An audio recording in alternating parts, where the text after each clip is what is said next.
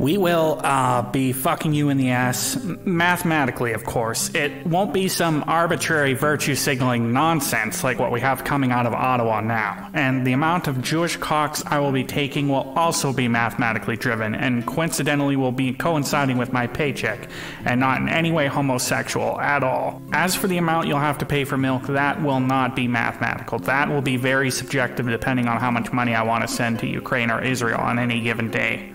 I was actually online the other day, and people were talking about a great awakening. Really? Joe Biden has actively molested kids on C SPAN, and you idiots are still going on about the flight logs as if it's like the next season of your favorite sitcom and it's actually going to go anywhere. As if the hundreds of trillions of pieces of evidence about 9 11, endless wars, spying, censorship, murder, rape, and forcing medical decisions on people are just not enough.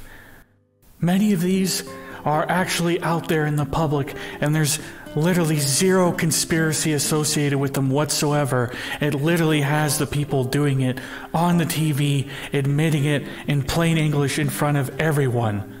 But if you just go down one more rabbit hole, things are going to magically change as if the problem is people just don't know.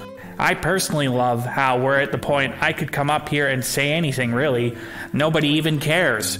Use chemical weapons on anyone who calls me Milhouse. Uh, drive a monster truck into a children's hospital. Take a flamethrower to the elderly and the homeless. I could walk right up to one of my supporters, spit in his mouth, and tell him I fucked his mother, and he wouldn't do anything. In fact, you know what? I'm going to break character right now and drop some real hints. Don't you think that's a little odd? Like it's a little more than Yuri Bezna, whatever the fuck his stupid name is, speech about demoralization and brainwashing? I'm sure that guy was on your side.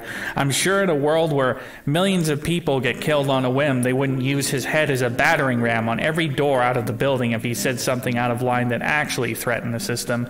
Is that what happens to you when you try to tell the truth? You're broadcast on TV or pushed to the top of the algorithms, put in a Call of Duty ad campaign? How come none of that mind control stuff works on you? Maybe something outside of your same old little toy box that says everything is being run by secret societies going around in black vans is going on.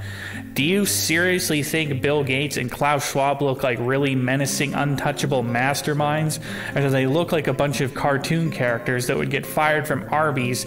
And the reason this works is because they're role players, just like the billions of mindless automatons all around you that never seem to question anything no matter how obvious something appears to a real spiritual human being like all of you out there. All I have to do is just not have my last name be Trudeau and have a blue tie on, and I can literally do everything he's doing and advocate for it actively, just add legally after all of it. And my supporters who hate him will defend me to the death.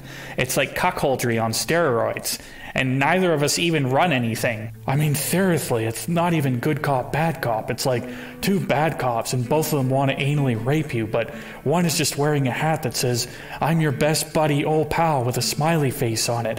And the people that call one side brainwashed for just accepting the rape openly make excuses as to why they have to get raped by the other guy for optics. Optics for the people that openly wanted to kill them not that long ago and advocated for putting them in camps for not getting lethally injected. You're right, guys. It makes perfect sense. Keep fighting the good fight. Just one more conspiracy proven correct, and then it's all gonna work out. Keep digging. Keep wasting your fucking life away. Billy Mays here with Conspiracy Lotto Ticket.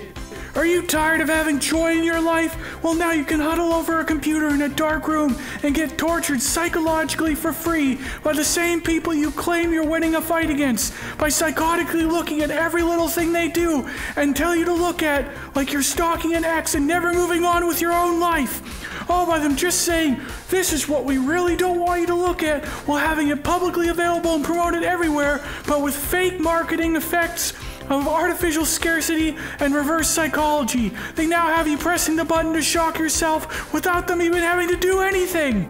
Mud flood, Tartaria, the coming economic collapse that was supposed to have happened multiple decades in a row by now, the moon landing, aliens, the Anunnaki. Pick a conspiracy lotto ticket on a conspiracy topic for only 1995. And after you scratch the ticket, every single one without exception in the history of this realm says fuck you without any resolution whatsoever. But wait, there's more.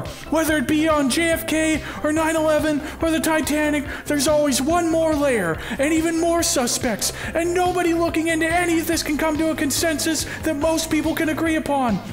Whether it be who the culprit is or what actually happened, that must mean this is a very real world, and all you need to do is buy one more conspiracy lotto ticket for another 1995. That's right, soon the world will be yours, and you're gonna figure all this out. Today, one more night in a dark room. You got this. And if you don't, you can always send me another 1995. Pork paste.